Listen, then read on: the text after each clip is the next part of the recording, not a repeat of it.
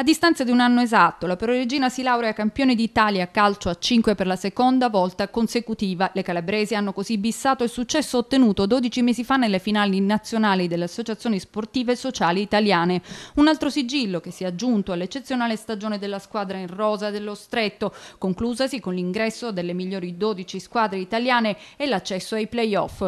Una lotteria andata in scena nella cittadella dello sport di San Buceto, in provincia di Chieti, teatro in cui le calabresi non hanno lasciato lasciato neppure le briciole alle avversarie, vincendo tutti gli incontri. Stese una dietro l'altra Palermo, Trieste e Olimpia Pescara. Entusiasmante la finalissima contro le siciliane, una sfida chiusa con il risultato di 4 a 1 in favore delle Amaranto. Riconoscimenti personali al portiere Mendolia, premiata come miglior pipelè del torneo e alla punta Politi, regina delle attaccanti nella competizione nazionale. Soddisfazioni per la Calabria Asi sono arrivate anche nel calcio a 7 con lo scudetto messo in bacheca dal Fitness Sport Center che dopo brillantemente superato le fasi regionali e approdato alle finali nazionali, vincendo il titolo nonostante le tante assenze forzate. Decisivi calci di rigore nella finale contro i colleghi laziali.